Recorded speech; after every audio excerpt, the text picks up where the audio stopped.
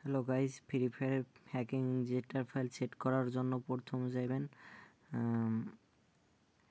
টেলিগ্রামে তারপর এই আমার টেলিগ্রাম গ্রুপে আমি যেই ফাইলটা দেব, সেটা ডাউনলোড করে নেই। এইভাবে টিপে ধরে তারপর এই উপরে ডাউনলোড লেখা দেখেন। ডাউনলোডে ক্লিক করবেন, তারপর এইভাবে ডাউনলোড হইবে। হওয়ার পর তারপর যাইবেন প্লে স্টোরে প্লে স্টোর তারপর এই জায়গায় সার্চ করবেন, এই জেট লেখা।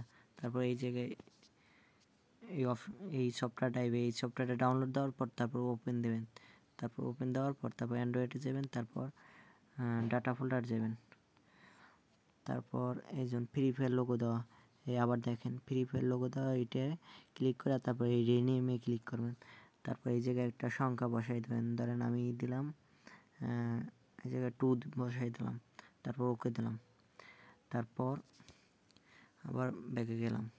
এই ডিভাইস মেমোরি এই জায়গায় ক্লিক করলাম। তারপর আবার ডাউনলোড ফোল্ডার ক্লিক করলাম। তারপর ওই যে ফাইলটা ডাউনলোড করছি, ওই ফাইলটা ওই ফাইলটার উপরে ক্লিক করলাম। ক্লিক করার পর তারপর এই স্ট্যাক হেয়ার এটা দেওয়ার পর আমি আপনাদের যেই পাসওয়ার্ডটা বলে দেবো, ওই পাসওয়ার্ডটাই দেবেন শুধুমাত্র।